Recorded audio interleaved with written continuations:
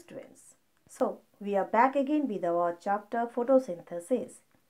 Today, we will be discussing about some experiments on photosynthesis. Now, a number of experiments experiment can be performed for the various conditions and requirements necessary for photosynthesis.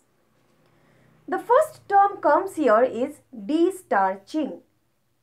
So, destarching means removal of starch. Now, how can we do this destarching? For this, we will take a plant and that plant must be kept in dark for 24 to 48 hours. We should keep that plant in dark for 24 to 48 hours.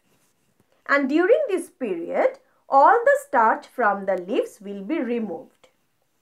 To the storage organs and the leaves will not show the presence of starch. So in this way we can destarch a leaf. And how to test a leaf for starch? We will be doing a iodine test. For this also we will dip the leaf in boiling water so that the cells can be killed then we'll boil the leaf in methylated spirit to remove chlorophyll. And after that, we'll keep that leaf in a, again in hot water and we'll pour iodine solution. The presence of blue-black color indicates the presence of starch. So, how can we prove that a leaf has starch? if the color changes, if the leaf's color is green, if the green color changes to blue-black color, that shows that it contains starch. So, now our first experiment is to show that chlorophyll is necessary for photosynthesis. For this, we will take a plant with variegated leaves. That means some green and some non-green parts. We will destarch the leaf by keeping it in a dark room. Then we'll place the plant in the sun. After a few hours, we will find, we will pluck one leaf and we'll make its outline on a paper and we'll mark it as green and non-green areas. We'll test the leaf for starch. Only the green parts of the leaf will turn blue showing the presence of starch. That means only the green parts of a leaf give iodine test for the presence of starch. Proving that chlorophyll is necessary for photosynthesis. Next experiment to sh show that sunlight is necessary for photosynthesis. Again we will take a plant with the starched leaves We'll cover one of its leaves with a black paper.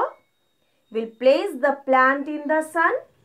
After a few hours, we'll test the leaf which is covered by black paper. What we will observe?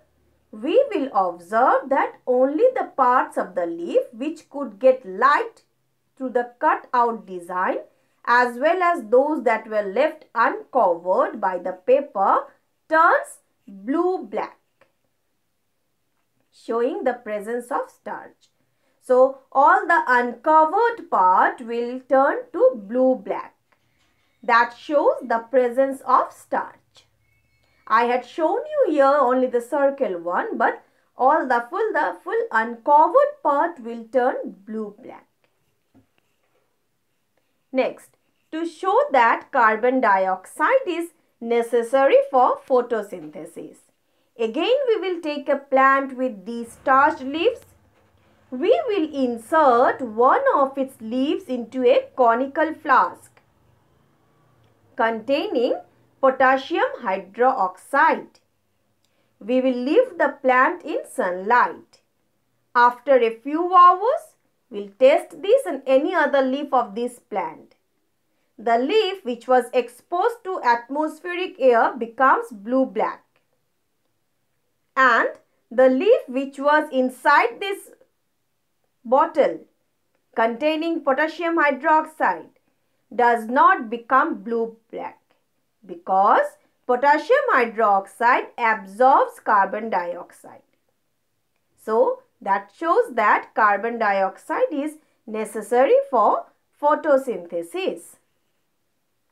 Experiment 4. To show that oxygen is produced during photosynthesis. We will take some water plant for example hydrilla in a beaker containing pond water. We will cover them with the, by a funnel.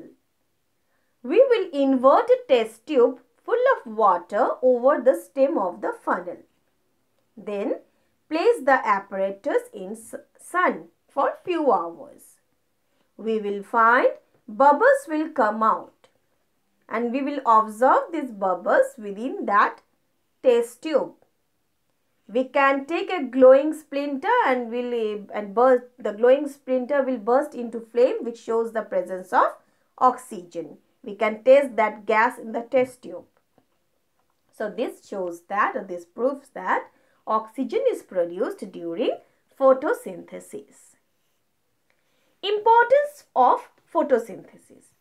There are two main importance of photosynthesis. First is it provides us oxygen and it provides food. So, photosynthesis uh, provides oxygen which is a life supporting gas is present in atmosphere in free state and this is only because of photosynthesis and it provides us food. So, all animals including humans they depend upon plants for food. Plants, they prepare their own food, by, but we animals, we depend upon plants for food. So this is also called, this dependency is also termed as food chain. And this chain of food dependency is called as food chain. Like for example, grass is eaten by rabbit, rabbit is eaten by tiger. So the, this comes under food chain. Next is our carbon cycle. Now, carbon cycle is a series of chemical reactions in which carbon as a chemical element is removed from the air, used by living organisms in their body processes and is finally returned to the air. So, a series of chemical reactions are there in which carbon dioxide is removed from the air. Again, they are used by living organisms and finally they are returned back to the air. So, the, there are some steps are there within this uh, carbon cycle. First is the photosynthesis. That means the green plants, they use carbon dioxide of the air to produce carbohydrate. Food chain. Through food chain, the food passes on from plants to animals. Respiration. All plants and animals, they respire by oxidizing carbohydrates in their cells. Why? To produce energy. Decay. The dead remains of plants and animals are consumed by bacteria and fungi and in the process they break down the organic matter. They release carbon in carbon dioxide form into the atmosphere. Combustion. When a fuel such as a wood or a fossil fuel like coal, petroleum, etc. is burnt, carbon contained in it is uh, oxidized to carbon dioxide which is given back to the atmosphere. So, the following uh, the essential steps of this carbon cycle includes photosynthesis, food chain, respiration, decay and combustion. So, again we had come to our home assignments portion. First question number 1. Oxygen is a waste product of photosynthesis. Comment. Question number 2. Why is it not possible to demonstrate respiration in a green plant kept in sunlight? Question number 3. All life owes its existence to chlorophyll. Give reason.